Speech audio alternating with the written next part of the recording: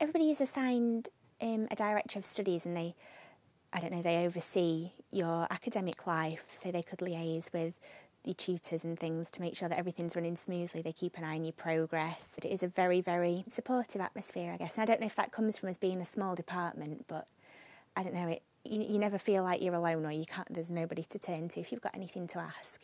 I mean, I get massive, massive academic satisfaction out of my course, but it's just opened up a brand new world for me, sort of socially, and I, I genuinely couldn't pick one thing that's the best about it. I know it sounds a bit naff, but it has sort of changed my life coming to Cambridge. I'm in the Linguistic Society, which put on talks. They have visiting speakers, and some of those are absolutely incredible. I really, really love going to my talks. I read for pleasure. I, I run a lot. I love running. I go to comedy nights and things like that because the comedy scene in Cambridge is amazing.